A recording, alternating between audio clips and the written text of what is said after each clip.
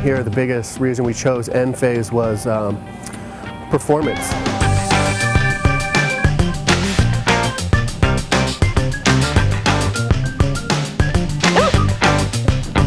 Really simplified the installation, something we weren't able to do in the past.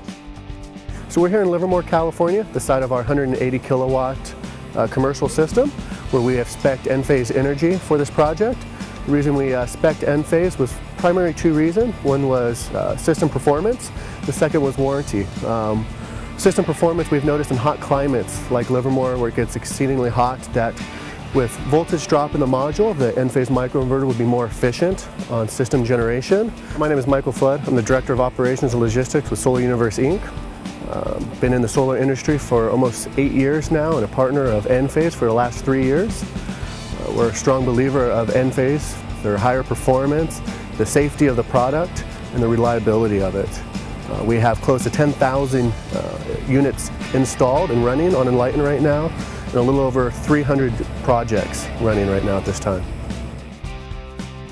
Hi, my name is Keith Kreutzfeldt. I'm with Solar Universe of Santa Rosa, and behind me is a uh, SolarWorld 240 system with the new Enphase M215 microinverters. We've been working with Enphase for close to two years now, so 95% of our residential installations are with Enphase. Just the additional power that we have that can now handle this, the 215, it's not a problem. Um, you know, we've got the output and we've seen hitting 210 uh, watts consistently with the 215 microinverter, so we're not seeing any clipping issues and it's uh, working out great.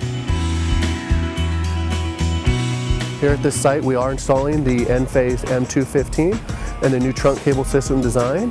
Uh, we, the reason we like the new trunk cable design is it's light, it's easy to install, it was quick and simple, less uh, cable management to do. But for customers there's always been the you know, question, why do I only have a 15-year warranty on my inverter when I've got a 25-year warranty on my panel? What happens in 15 years?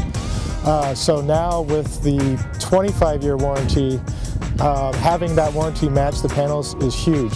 Why would they use a central inverter anymore? There's just really no more value in going that route.